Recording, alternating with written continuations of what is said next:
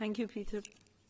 Uh, Ministers, first of all, I'd like to thank you for putting this point on the agenda and to just say that your uh, very important input will be feeding into the preparations of the proposals that we are uh, currently revising uh, and looking at the EU's animal welfare legislation.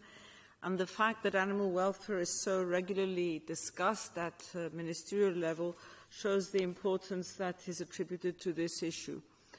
The Swedish Presidency Conference on Animal Welfare at the end of this week will be the latest of these regular discussions, and I'm very much looking forward to hearing um, its outcome. During many of our previous discussions, there have been many calls to revise the EU animal welfare legislation, and this is for a number of reasons. And several of you have highlighted the need for the legislation to better reflect scientific and technological evidence and developments, and sustainability challenges, but as well as societal expectations and ethical concerns. I want to share with you that the fitness check has confirmed this need.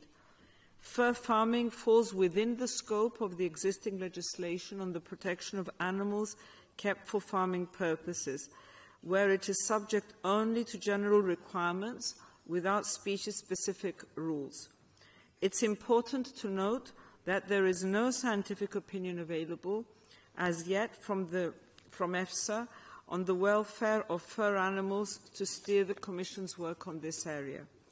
EFSA has been working intensively in recent months and has delivered a large number of opinions on a major, um, on a major species of farmed animals, and priority was understandably given to the species that are mainly farmed today in all member states, such as dairy cows, or to species such as broilers or pigs, for which specific legislation exists and needs updating.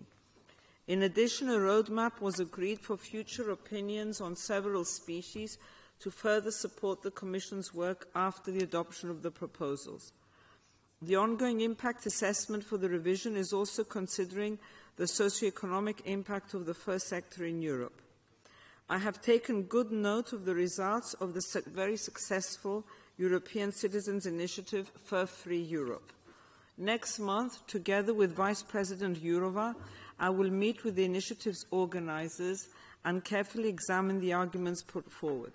The Commission will reply to it by the end of the year, and I will be able to say more on the Commission's response in due course. Thank you.